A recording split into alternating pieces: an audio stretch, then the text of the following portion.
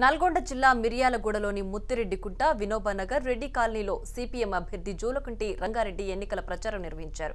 గతంలో తాను శాసనసభ్యులుగా పనిచేసినప్పుడు అనేక అభివృద్ధి కార్యక్రమాలు చేపట్టానని టీఆర్ఎస్ పార్టీ అధికారంలోకి వచ్చిన తర్వాత ప్రజలకు చేసిందేమీ లేదని అందుకే వారిని గ్రామాల్లోకి రానివ్వకుండా ప్రజలు తరిమి కొడుతున్నారని అన్నారు.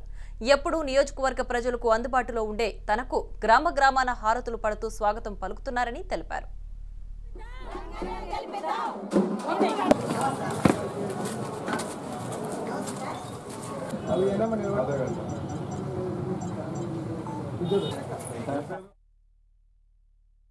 ఈ ప్రాంతంలో ఉన్నటువంటి దళితులు కానీ మైనార్టీలు కానీ అన్ని వర్గాల ప్రజలు ఎంతో ఆదరణ చూపిస్తూ తప్పకుండా మీ కోటేసి గెలిపిస్తాం.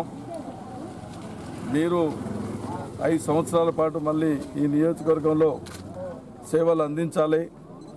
గతంలో మీరు ఎమ్మెల్యేగా ఉన్నప్పుడు ఎన్నో అభివృద్ధి కార్యక్రమాలు చేపట్టారు. మా అందరికి అందుబాటులో ఉండి పనిచేశారు. మరొకసారి మిమ్మల్ని గెలిపిస్తామని చెప్పేసి ఆ రకంగా ప్రజలందరూ ఆ రకమైనటువంటి మద్దతు తెలియజేయటం అనేది జరుగుతూ ఉన్నది.